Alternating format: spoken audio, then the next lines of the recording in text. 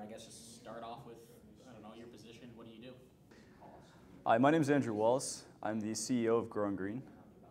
Uh, I'm a fourth year entrepreneurship student, uh, and I have experience ideating and growing new organizations. Uh, they're typically of a pro social nature. I like to try to tackle the larger issues that societies face. Um, academically, my, my experiences go into uh, lean principles, design thinking, as well as strategic organization work. Um, and these inclinations and have led me to uh, found Growing Green with the intention of tackling the problem of food security. So hi, my name is Chris. I'm a third year marketing student here at Ted Rogers. Um, I joined Growing Green because I had a previous project where I did hydroponics as well. And because I, that didn't work out, I wanted to join a new team and bring the idea into reality. Hi, my name is Josh Folk. I'm a fourth year uh, undergraduate student at Ryerson studying entrepreneurship and strategy. I uh, also run a consulting firm doing organizational transformation and talent development. So I thought it was a great opportunity to work with Growing Green to try and build their organization and see if we can uh, get the right talent in the right place. And I'm interested about this company because I know that the people who are running this are capable of doing great things and they're working in a cool problem space. So I joined on.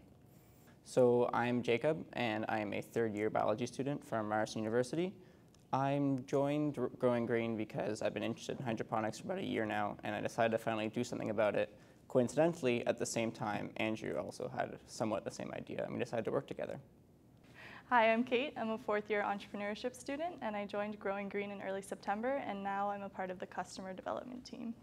So the problem at Growing Green that we've identified is that uh, big agriculture has dominated the food industry for, for decades. Uh, production over process philosophies have been driving abusive environmental practices and a dependence on uh, big chemical. This combined with grocery stores as a distribution channel have alienated urban dwellers from their food. People aren't connected anymore. It's why you're also seeing rises in uh, obesity and other food uh, epidemics because people don't understand the origin of their food, and it's not necessarily the healthiest thing for them. It's why they're accepting of like fast food and other, other things like that. Uh, and as ownership of agriculture and the patent rights to bioengineered food becomes increasingly conglomerized in these large companies, they're even more inclined to not having the consumer of the foods uh, best interest at heart. So we, we believe a shift of food production into urban environments will spread ownership to the individual and mitigate many of the, many of the environmental and other damages caused by this industrialized agricultural system. We believe this shift will only happen if the return on investment, if it's cheaper to grow food in cities than it is in, uh, in rural environments.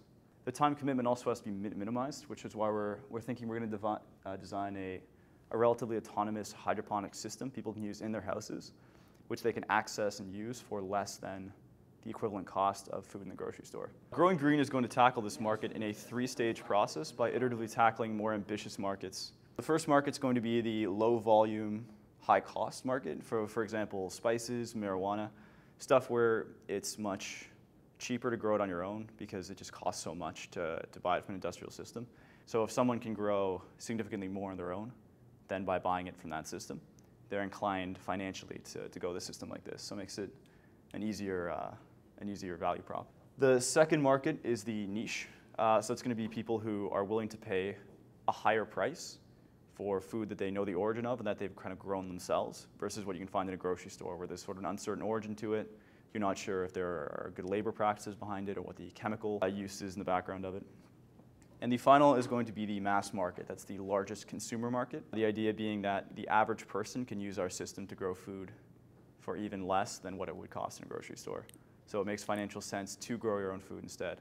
And at that point, you'll see the mass market adoption that we'd hope for. With Growing Green, we're competing with, we think, several different solutions to the, uh, the problem we've established. So the first one is going to be the status quo, or people's relative indifference about solving this food security problem. If we place food production into the individual's hands, they do have to take action. So if they don't, if they're indifferent about solving the problem, they may not like take the initiative to solve it. So that's why by having the positive ROI uh, buying decision, it'll be really easy and convincing for people to, to, to take this solution into their lives. Uh, next is big agriculture. Um, it's a US $3 trillion industry worldwide. They already have established channels of distribution, of labor, of everything. If we disrupt the market as we hope to, um, they're going to have some say in that because people who otherwise would be buying food from, from them would instead be growing their own food and buying our systems. And then third is other people who are designing similar systems. So other hydroponics, aeroponics, aquaponics companies.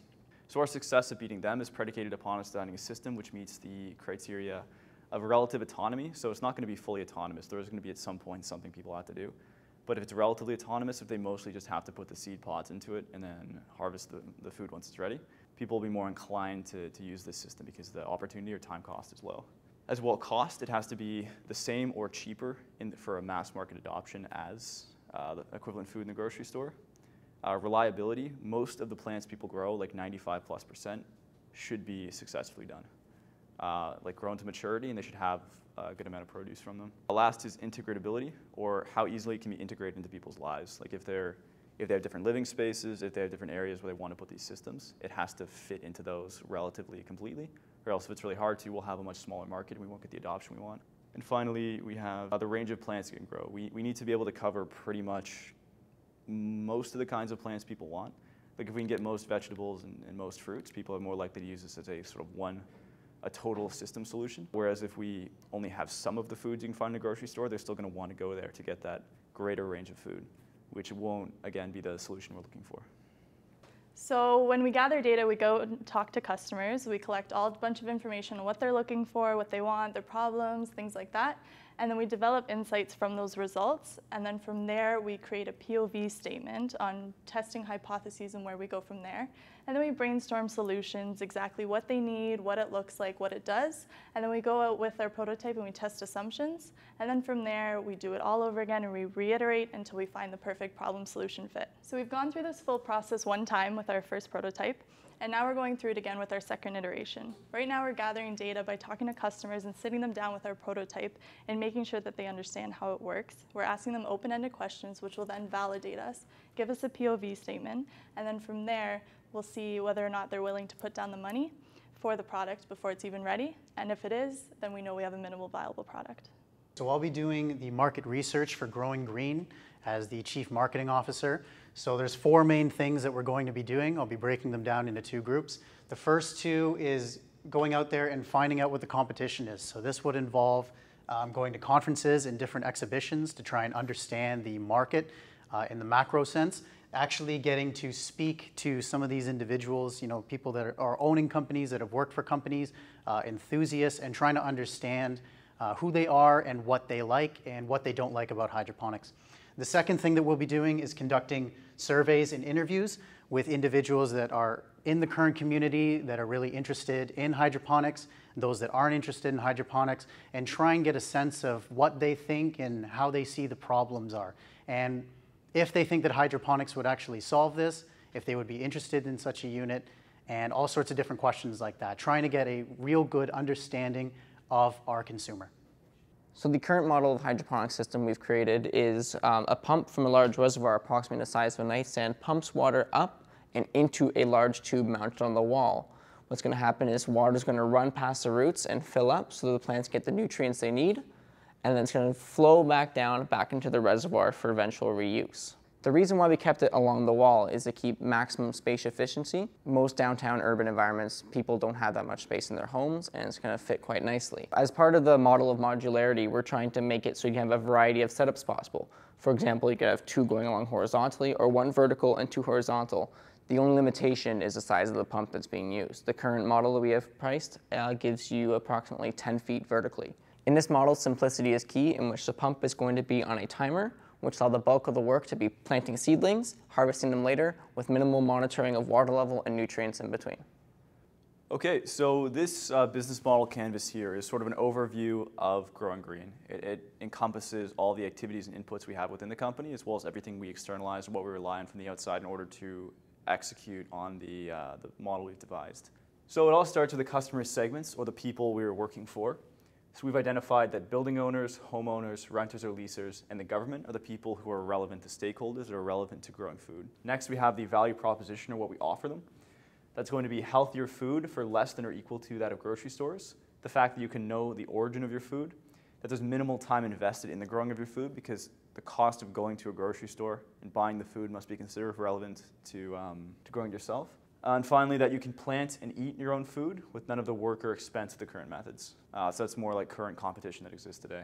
So the channels we're going to reach these people by, these uh, customer segments, is through word of mouth, free media coverage, which will arise from the novelty of what we're working on, as well as ads or social campaigns. Once we have these customers, we're going to maintain relationships with them based off these criteria here. The fact that our system's not frustrating to use, it's reliable, it's easy, that it integrates well into their lives. This is also into their homes, that it's, from a design perspective, uh, it can fit in a variety of homes regardless of the shape or size of the space. Further, that aesthetically it looks good, that it's, it's sort of beautiful. It's got that sort of Apple clean design where people want to talk about it. They want to share with their friends. They want other people to know about this growing system that they have, but how much money they're saving on food. That'll create that word of mouth effect, that, that sort of viral coefficient, which will make people and will make our company grow. From these customers we have, we'll have three sources of revenue. Direct sales, people just buy our systems, simple. Uh, we'll license out the IP we have. So as we develop intellectual property, as we develop these systems, people are going to be interested in using some of the insights we've garnered to grow their own systems. And in the interest of food security in the long term, having more people involved in this space is good. We want that. And finally, the model that we ideally, ideally want is leasing or subscribing to our seed and system packages. This is where start to finish we help install as well as deliver both the seeds and the systems so that people, for just one fixed monthly cost, can get these uh, growing systems for less than what it would cost buy the equivalent amount of produce in the grocery store. So the key activities we're going to use, um, sort of how we'll structure our time, is going to be in pursuit of these three things. Optimizing the ROI of urban food. That is, again, that pursuit of making it cheaper to grow food in cities than it is in a rural environment. The more we make that a positive ROI for urban food, the more we're going to see a mass market adoption. Next is reducing the total energy equation. This takes into account carbon emissions, any environmental factors, the time cost, everything. We want the energy equation of urban food to also be lower than that of rural food. Once we have these two variables being in, in favor of urban food, we're going to see a much larger push because it makes sense in so many different ways to do it. And finally, growing our subscriber base. We can only have that impact if the mass market has adopted our systems. So the more people we have using these systems, the more likely we are to see a sort of societal change and shift towards growing food in a more sustainable, integrated way that connects people with the sources of it. The key resources we need to execute on these key activities are going to be IP, or developing intellectual property, which meets these design needs. Expertise in food production, whether that's coming from our CTO or from experts outside. We're going to need people who know food and who can integrate these systems to beyond just designing but executing the business model. And finally, the uh, brand name and assets. As we develop recognition for this, because we have also the first mover advantage executing on this vision, we're going to get a certain amount of publicity, and uh, we can use that in order to further our mission, which is to increase food security. So our key partners in executing on this model are our financing partners because we're doing the licensing or subscription model. We're going to have a lot of people who have the system but haven't paid the full price of it. So the money for that's going to need to come from somewhere. And if direct sales don't match it, we're going to need financing to finance these things. Uh, so a good partner for that is essential. Delivery services, naturally we're going to be having at least a monthly delivery going to anyone on the leasing models uh, to their house. So we're going to have to have a good partnership with a FedEx or some sort of local delivery service on wherever the area they are in. In, this point, Toronto, so it might be Canada Post, who is going to be doing those ongoing uh, deliveries both to them and from them to us when they're sending stuff back. And then finally, seed manufacturers. At this point, we don't plan on manufacturing the seed pods ourselves. We're just going to do the, uh, the growing systems. So in that regard, we need to have someone who can manufacture them. So it could be us if need be. It's just at this point not something we're planning on doing. Uh, and then the cost structure of all this, when we're executing on these activities and to gather these resources, the costs are going to be the production of the system and the seeds, the design, the manufacturing, planning everything, executing on the back end. All that's going to be uh, incorporated into that cost. And then ownership of the lease system. So as we manufacture these systems with the external financing, we're going to have quite a bit of capital tied up in those. And for that reason, one of our big costs is going to be the cost of capital for the ownership of these things. So as you can see, all these boxes sort of tie together and give you just an overview of Growing Green and what we're trying to accomplish and how we're going to execute on the overall mission of increasing food security by shifting production to urban environments through having design systems which work in people's homes.